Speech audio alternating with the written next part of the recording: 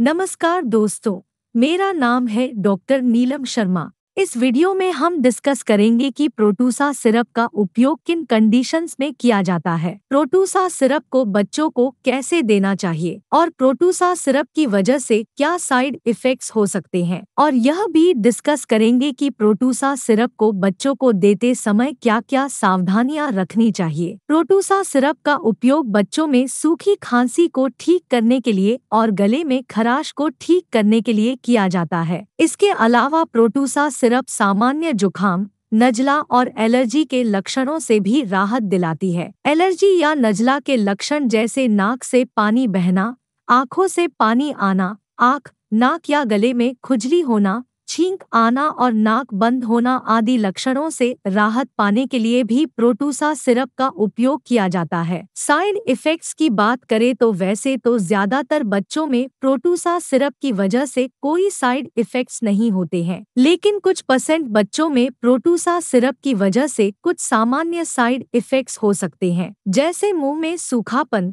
सिरदर्द होना, भूख कम लगना, शरीर में थकान व सुस्ती होना नींद अधिक आना कब्ज होना।